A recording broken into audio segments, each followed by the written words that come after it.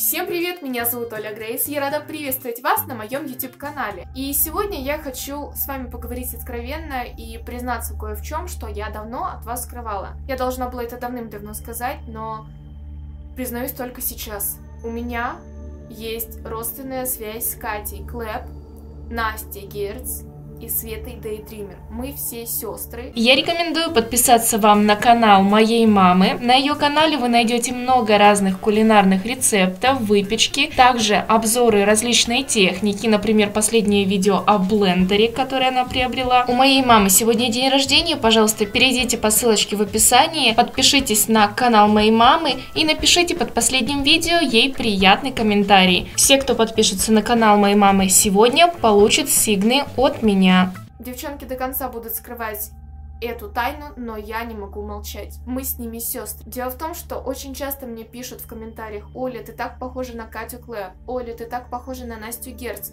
Оля, ты так похожа на Свету Дейдример. Я поняла, что вы и так все замечаете, и нужно вам признаться. Мы с ними сестры. У нас с девчонками кровная связь.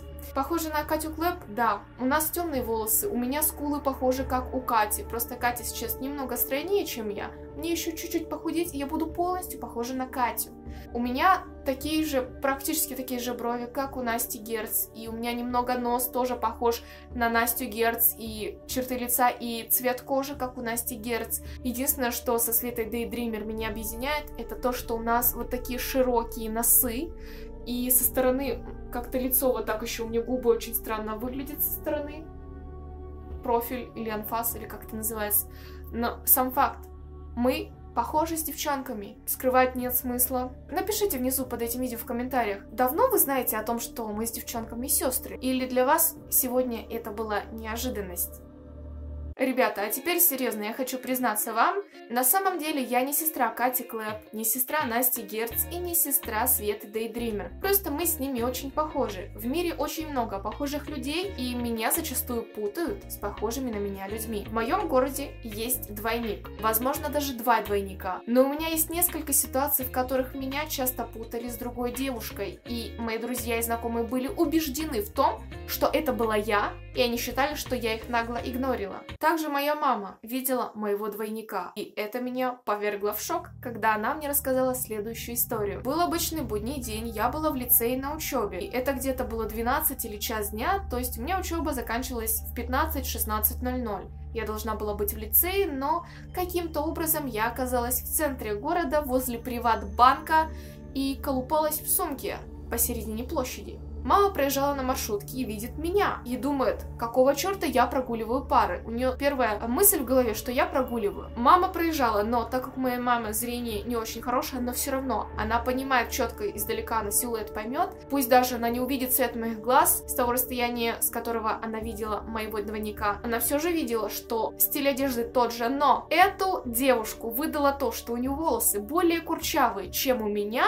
и у этой девушки была не та обувь, не моя обувь. И была сумка не моя. В то время я ходила с сумкой Альба Сабони. Это крутая сумка, которая прослужила мне три года. Она была внушительных размеров, в которую помещалось все, что мне нужно было взять с собой на учебу и даже больше. И в тот момент моя мама действительно опешила, как-то так я прогуливаю пары. И потом мама вечером мне рассказала эту ситуацию. Я говорю, Мам, вообще-то я на парах была. Мама ведь начала спрашивать, Оля, а где ты была в такое-то время? Начала отвечать, что я в лицее была, у нас пара физики была, а потом я аж до самого вечера была э, в музыкальной школе, занималась вокалом, и там еще сольфеджио было. Мама такая, а, ну хорошо. И рассказала мне эту историю о том, как она увидела эту девушку, и эту девушку она приняла за меня.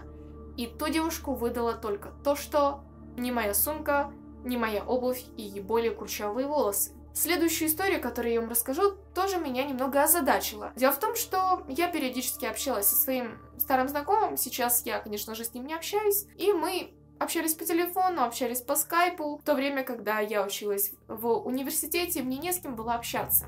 Так вот, в очередной раз, когда я с приятелем общалась, он говорит, Оля, слушай, хватит меня игнорить. Я говорю, Дима, что случилось? Он говорит, так, на прошлых выходных а именно в субботу. Я тебя звал во дворе, я видел тебя на Таврике, но ты нагло игнорила меня и ушла с какой-то девчонкой. Я говорю, Дима, ты сейчас понимаешь, что ты говоришь? Он говорит, да, я тебя видел в то время в таком-то месте. Я говорю, Дима, вообще-то меня в тот день не было в том районе. Я вообще сидела дома и репетировала за фортепиано. Я действительно могла по 5 часов сидеть за фортепиано, играть сонаты, гаммы и прочие произведения учить. И в тот день меня не было в городе. Меня вообще два дня не было в центре города, я сидела дома. И я ему рассказываю, что меня не было. Он говорит, нет, Оля, что ты мне здесь заливаешь? Я тебя видел, ты меня игнорила, я тебя звал Оля, Оля. Ты не захотела отвечать, не отвечала как-то. Я подошел ближе и говорю, Оля, ну что ты, давай. И он даже мне детально описал, в чем я была одета. Я говорю, ты знаешь, скорее всего, это был мой двойник, потому что у меня в городе есть двойник, и мама мне о нем уже рассказывала. И он такой, да? Я говорю, да, такое возможно. Он говорит,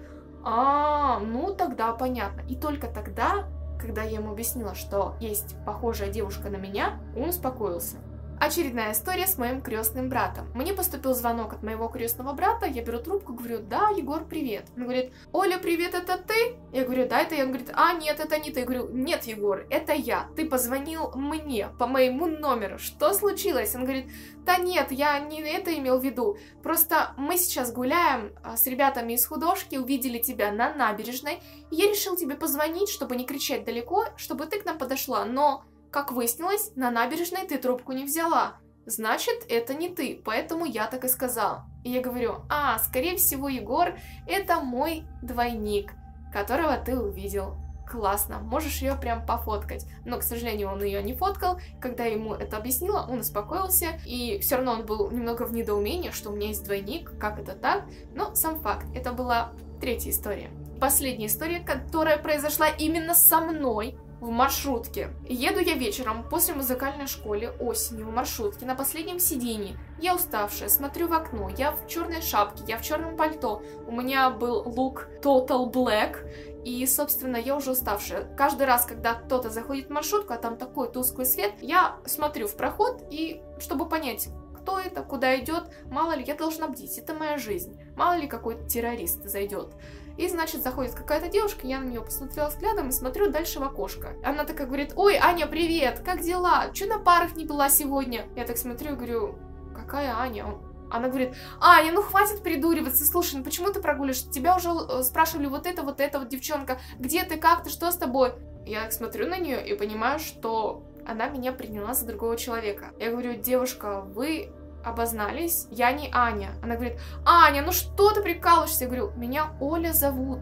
Оля, меня зовут. И эта девушка опять хочет приводить аргументы и задавать вопросы, почему же Аня ты не пришла и почему тебя нет, зачем я ее разыгрываю. И тут в ее лице, когда я в очередной раз говорю, меня зовут Оля, и я не Аня. И она понимает, что я не Аня, и она такая, ой, ой, простите, девушка, вы очень просто похожи, я обозналась, извините. И сидит, села возле меня и сидит, едем дальше. Проходит две минуты, она оборачивается ко мне, ой, девушка, пожалуйста, простите еще раз, еще раз, пожалуйста, извините, так неудобно, вы очень похожи просто. Я, я такая смесь, говорит, да ничего страшного, всякое бывает. И эта ситуация была последней каплей, которая доказывала, что у меня есть двойник в моем же собственном городе. И я такая, come on, уже моя мама видела двойника, мой знакомый Дима видел двойника, мой крестный брат Егор видел двойника, и я видела знакомую той девочки-двойницы, двойника. Я понимаю, что даже если подруга или однокурсница той девочки, моей двойницы, меня посчитала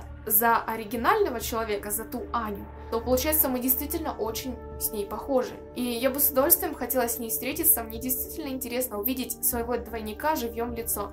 Но, к сожалению, мне ни разу не давалось увидеть ее, моего двойника видели только мои знакомые. Кстати, ребята, напишите в комментариях под этим видео, есть ли у вас в вашем городе двойники, есть ли у вас двойники в интернете, потому что нас с Катей, Настей Герц и Светой Дейдример можно считать тоже двойниками. Такое бывает, что периодически рождаются люди с очень похожей внешностью. Пишите, сколько у вас двойников, на кого вы похожи и считаете ли вы нормальным, что у людей есть двойники и не один, а несколько двойников. Также надеюсь, что вам понравилось это видео. Если это так, то ставьте пальцы вверх. Также подписывайтесь на мой канал. Это красная кнопочка под этим видео. Также жмите на колокольчик, чтобы первыми узнать о моих новых видео. А с вами была я, Оля Грейс, и до новых встреч. Пока-пока!